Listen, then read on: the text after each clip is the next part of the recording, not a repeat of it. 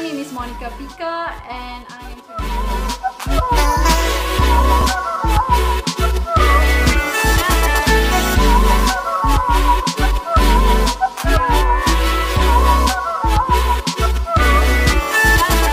Suara yang saya hadapi dan modelling.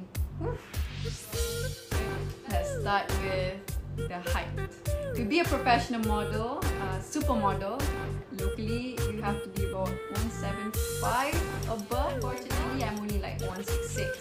166. Hence why I use a lot of 67 inches heels, which you are not actually supposed. Thanks to several um, designers, they actually believed in me, so they still end up choosing me to uh, be part of their show. Like they wanted me to wear their gorgeous designs and walk down the runway. So used to be 57 kg, which is uh, my ideal weight. My ideal weight is supposed to be 56 to 66, if I'm mistaken.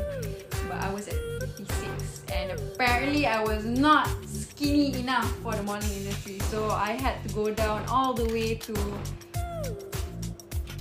um, I went down all the way to 47 kg once. I was considered anorexic, but that was the moment where a lot of um, shows, runway shows, actually accepted people. Oh, your your mind has to be strong for this, because no matter where you go, you'll be judged really, really bad, especially on what you're gonna wear. At times, designer, um, the, you know, you can't comment on a designer's outfit. You know, whatever they give you, you have to wear it and just walk down the runway.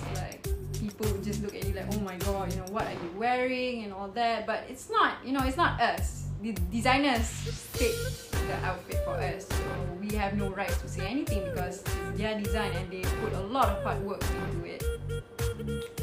So other than that, um, being judged by um, other models as well because um, as I said, I'm not a supermodel and I'm not one of the top models and I don't think I can ever be one to my height. So they tend to look down on people who don't fit in like the requirements as they do. So the only way to um, you know for them to see